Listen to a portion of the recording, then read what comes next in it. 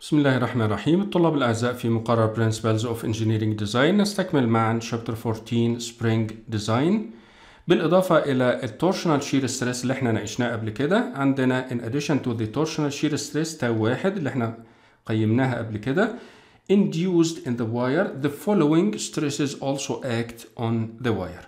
عندي في stresses أخرى بتؤثر على ال wire أول نوع حاجة منها أو أول نوع اللي هو ال direct shear stress وبنرمز له بالرمز تاو 2 due to the load W and stress due to the curvature of the wire و stress آخر نتيجة ال curvature أو التقوس بتاع ال wire طيب تاو 2 بتقدر قيمتها ده بما إنه ال direct shear يبقى force على ال area ال load هنا اللي هو ال W مقسوم على ال cross sectional area الخاصة بال wire اللي هي باي على 4 d square. بنصفيها طبعا بتطلع تاو 2 بتساوي 4 W على باي في ال d square.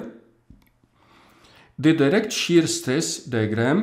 التوزيع بتاع ال shear stress اللي هو تاو 2 direct shear على ال cross section بتاع ال wire بالشكل ده. هنلاحظ طبعا إن هو stress منتظم من المركز إلى الأطراف. كله بقيمة واحدة ده النوع الثاني اللي هو ال direct shear اللي موجود في ال wire آه الإضافة بقى بتاعت ال torsional shear ده طبعا ال torsional shear zero عند المنتصف و maximum عند الأطراف.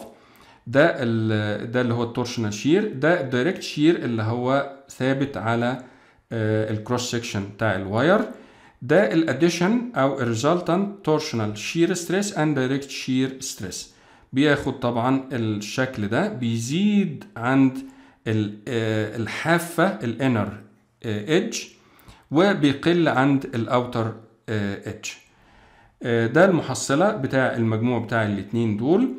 أما الأخير اللي هو في الشكل d resultant of torsional shear direct shear and curvature shear stress diagram ده المحصلة بتاعت الأول stresses ده بالطبع عند ال outer edge وده عند ال inner edge بنلاحظ إن هو بيزيد القيمة بتاعته.